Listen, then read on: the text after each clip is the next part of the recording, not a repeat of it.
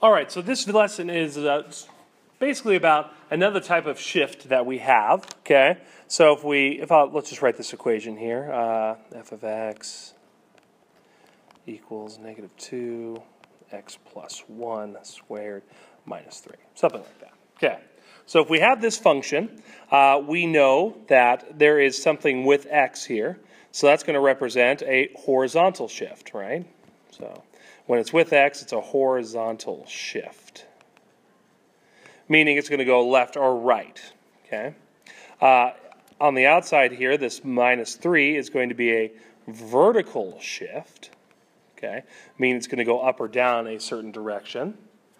And as we learned about, the negative in front means that it's going to be a reflected graph.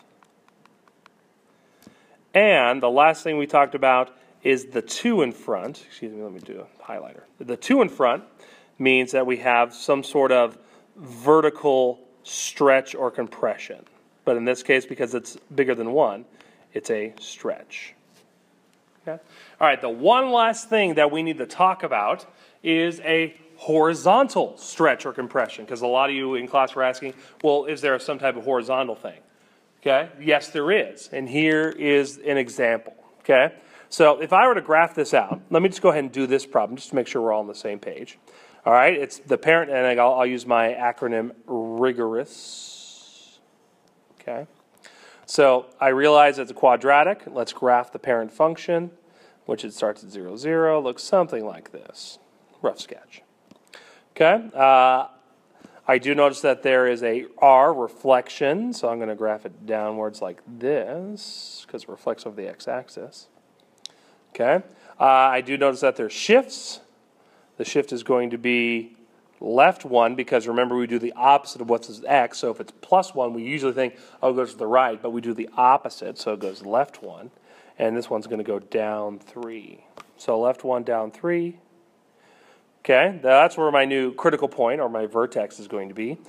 And then the 2 in front means it's going to be a little bit more narrow or it's going to be a stretch, a vertical stretch, meaning it's going to be a little taller than usual or my slope's going to be more steep than usual. So that is what my graph would look like. Okay, but there's one other kind of uh, shift that we can have, and as I just alluded to, we could have a uh, horizontal compression or stretch. Okay, but this actually changes the game quite a bit. Okay, so I'm only going to so the, I left the original function on the left. Here's the new function on the right. Okay, so I'm going to say negative two, uh, three x minus nine squared minus one. Actually, we'll make it minus three. Okay. So notice how everything else is the same except for what's inside with x. Okay? And now normally you think, well, Mr. Schwandt, why would that change? It's going to be to the right 9 and down 3. Actually, it's going to be really different. Okay? Uh, so here we go. It's still going to be the same process, though. Same process. All right, so I had to realize what kind of function this is. Okay, this is a quadratic function. So let's go ahead and graph that quadratic function. Okay, critical point at 0, 0, that's where the vertex is, goes up like this somewhat. Okay, uh, I do notice that there is a reflection because of the negative right there. So I'm going to graph this going down now because it's going to reflect over the x-axis. Okay, and before I do anything, I notice that there's a 3 in front of the x, which changes actually quite a bit.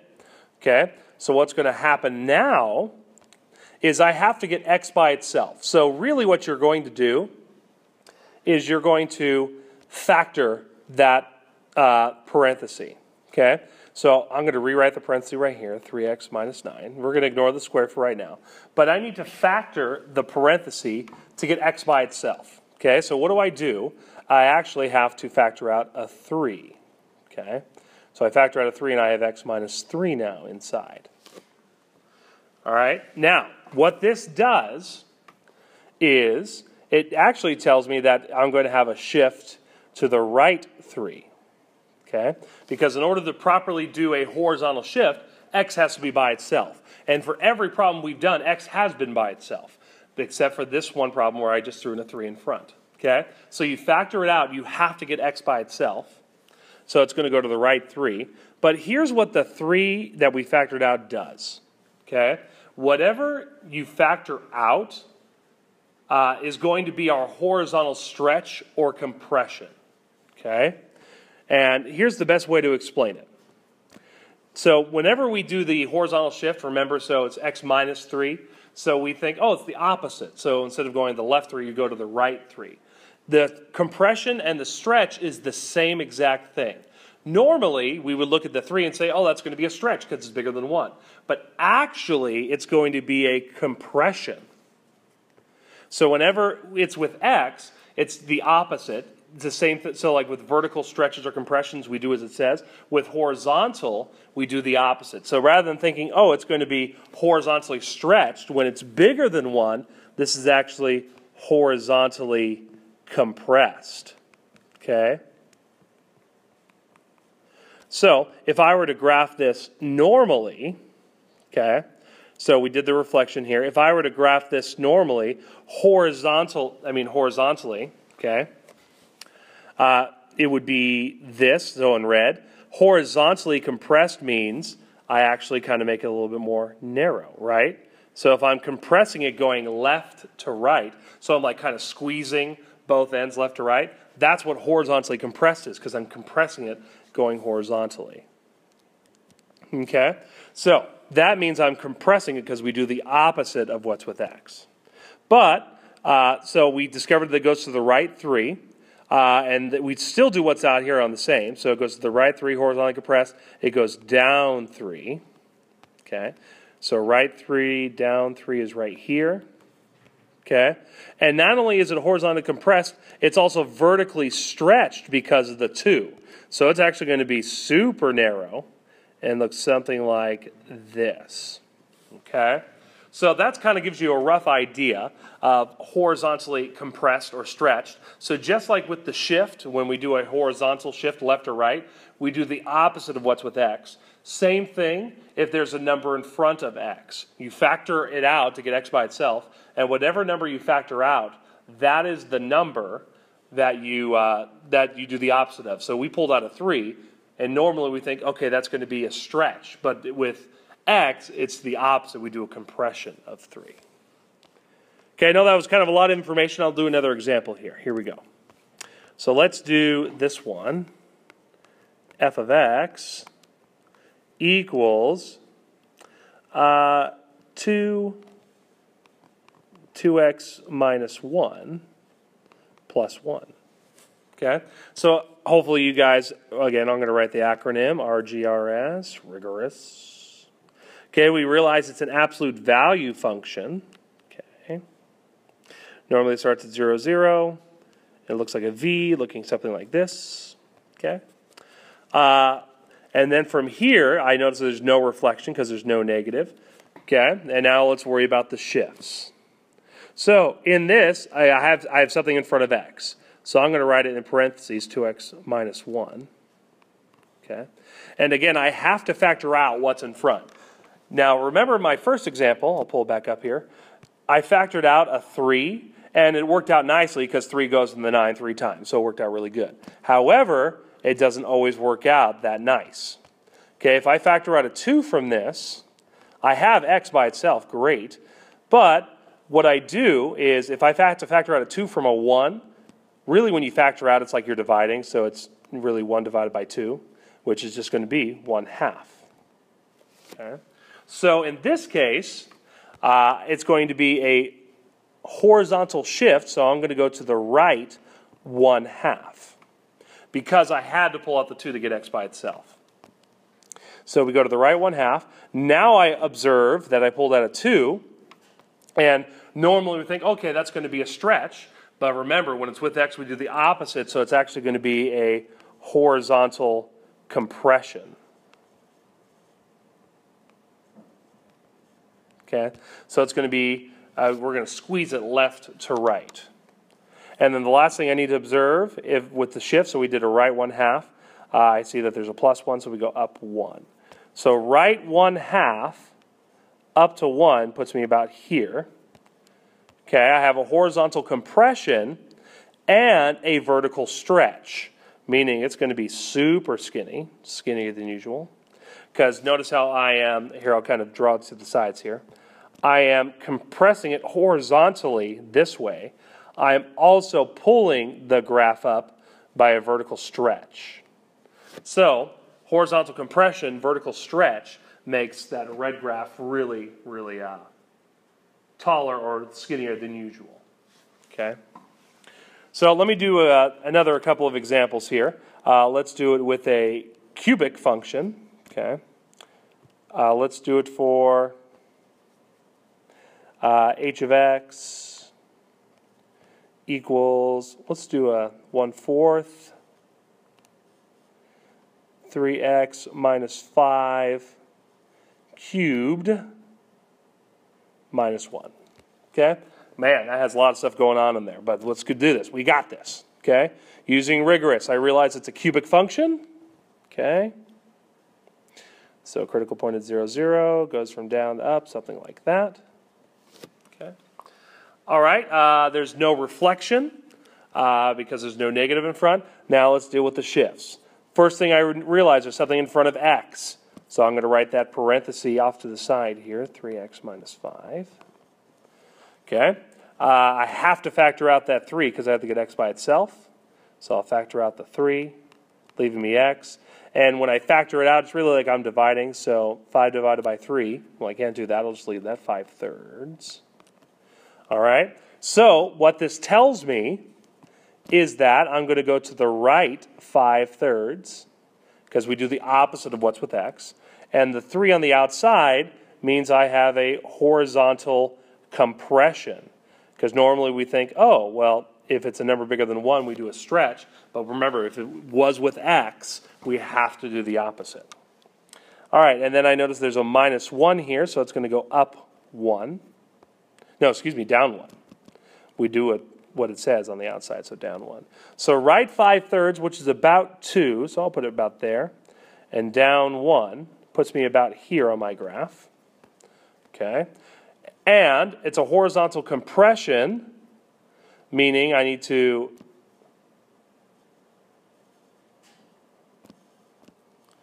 Uh, I'm going to squeeze it on both sides this way and this way. But the 1 fourth tells me that's going to be vertically compressed as well, meaning I need to squeeze it this way and this way. Okay? So not only is this going to be horizontally compressed left to right, it's going to be vertically compressed up and down. So vertical compression. Okay? So here's how I would graph that with a horizontal compression and a vertical compression. It would actually kind of almost balance out a little bit. That's actually a horrible example. So, it looks something like this. If you think about it, if you multiply 3 times 1 fourth, it comes out to be 3 fourths, which is pretty close to 1. So, you'll notice that it's rather close to the parent function in the way that it curves okay? But I actually need to draw my graph through the critical value there, okay? So, uh, so it kind of gets confusing here and there. What's most important to me is that you have to recognize that if there's a number with x, you have to factor that number out so that you can see what the true horizontal shift is. And once you factor that number out, it also has an impact on whether it will be a horizontal compression or a stretch. Okay, last example I'm going to do for you is a trig function. Yay, trig. All right, let's do uh, m of x equals, let's do 2 sine of 3x. Now, just to make it simple on us, we'll do 2x. Okay. All right, so for this example, uh, again, using our acronym RIGOROUS, R-G-R-S, all right, I realize it's a sine function, a normal sine function, okay, starts at 0, 0. At pi over 2, At pi over 2, it reaches up to 1. I'll put 1 right here. Okay, at pi, comes back down to 0. At 3 pi over 2, it goes down to negative 1. And at 2 pi, it's back at 0. So my normal sine function looks like this. Okay. Uh, and that's the graph. There's no reflection. Uh, I'm going to go ahead and take care of the stretches right now because with trig functions, it's better to do stretches than shifts. Okay, so I normally know, and this is still true, uh, the 2 in front means I'm going to have a vertical stretch, meaning I have to stretch the graph all the way up to 2. The ones at 0 stay on 0. And the one at negative 1 stretches down to negative 2. Okay. So now it's going to go like this. Now, the last thing we have to discuss is the 2 in front of x right there. Okay?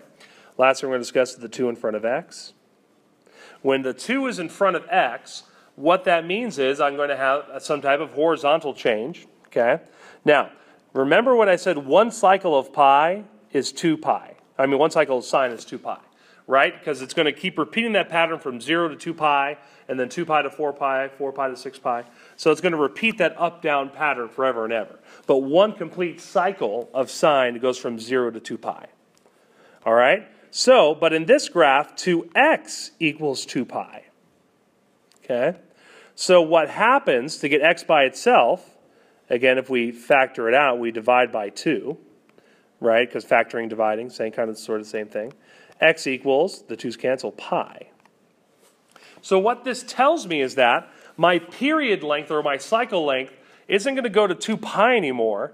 My whole graph needs to fit from 0 to pi. My whole graph needs to fit in that space. So see how it goes up and down from 0 to 2 pi? What I need to do is my graph needs to go from 0 to pi. Okay? So that means my critical values have to change.